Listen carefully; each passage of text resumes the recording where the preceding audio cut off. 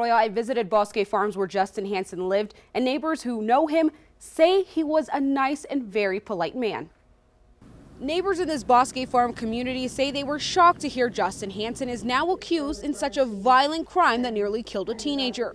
Hansen and his family have lived in this community for years. Neighbors told us he was friendly, a good dad, and hardworking. They said they would see him working on the Hansen's family farm. Because the community is so close, they did not want to be interviewed about Hansen's arrest. Bosque Farms police officers helped Albuquerque officers arrest Hansen Thursday night at a grocery store. Okay, you're wanted for, for some stuff, okay?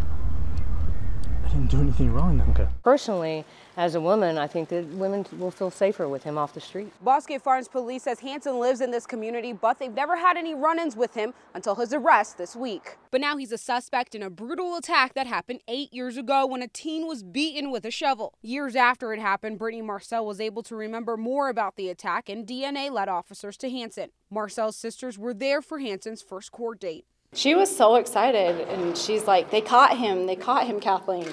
And that, like, just the excitement, I haven't heard that excitement in a long time.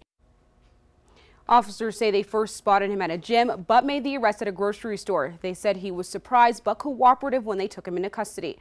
For I'm Katie Mush, KOAT Action 7 News.